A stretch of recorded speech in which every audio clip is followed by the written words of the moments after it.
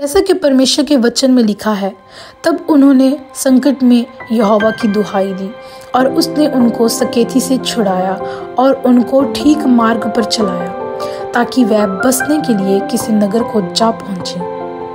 आइए देखें ये वचन इस भाई की ज़िंदगी में कैसे फल लेकर आया। इस भाई का नाम विजय कुमार है और ये बताते हैं कि इनकी मैरिज लाइफ बहुत ही डिस्टर्ब्ड थी। ये दोनों पति पत्नी आपस में लड़ते झगड़ते रहते थे। इनमें झगड़ा बेवजह ही हो जाता था। इनकी शादी में कुछ गलत फहमियों के कारण ये पूरा परिवार बिखर चुका था। इनकी वाइफ इंडिया अपनी बेटियों के साथ चले गए थे और ब्रदर विजय इटली में ही रह चुके थे। ब्रदर विजय और इनकी वाइफ आपस में बातचीत करनी इन्होंने बंद कर दी थी और ये मैरिज डाइवोर्स की तादाद पर भी पहुँच चुकी थी।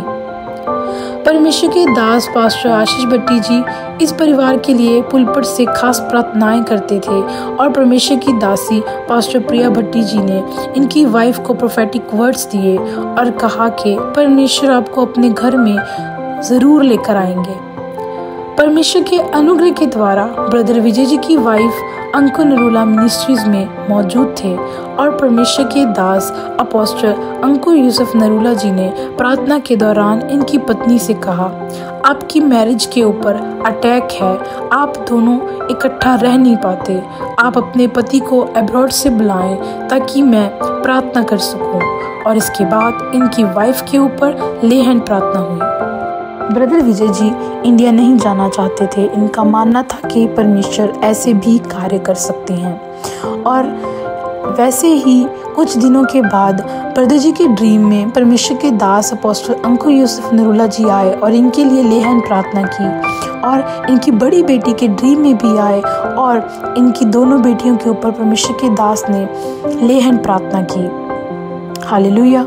परमेश्वर ने ब्रदर विजय जी के विश्वास को पक्का किया और संपूर्ण भी किया और इस परिवार को फिर से मिलाया।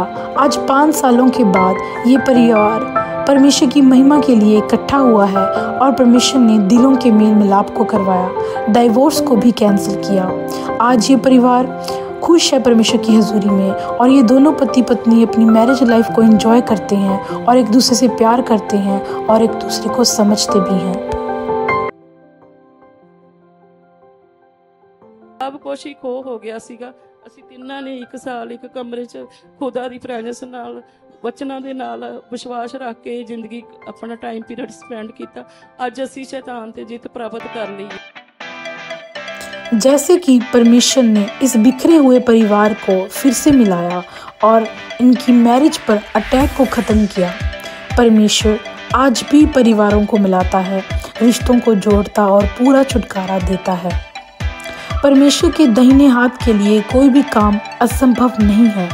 परमेश्वर को पुकारें और उसी से उत्तर पाएँ और आप भी परमेश्वर की महिमा को देखने पाएँगे परमेश्वर के गहरे भेदों को सुनने के लिए, दुष्टात्मा और बीमारी से आज़ादी पाने के लिए और अपने जीवन में परमेश्वर के जीवित और सामर्थ्य हाथ को देखने के लिए हमारे YouTube चैनल को सब्सक्राइब करें, ताकि आप परमेश्वर के दास के द्वारा दी हुई टीचिंग्स को सुन सकें और उन बड़ी गवाहियों को भी सुन सकें, जो कि परमेश्वर अपने लोगों के जीवन में करता है।